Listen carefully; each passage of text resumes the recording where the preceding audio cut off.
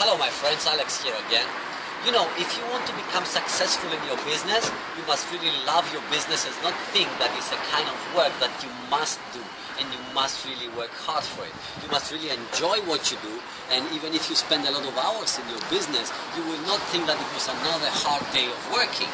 Alright, this is one secret that successful people became very successful because they always loved their kind of job. And this is what I do. I like working online. I like videos. I like having a lot of time, you know, to travel the whole world. I like to have a beautiful lifestyle. And at the same time, I really love helping others to achieve success. So this is what I wanted to say for today. Have a nice day. And, you know, let's talk. Let's connect on Facebook. Let's uh, talk together very soon.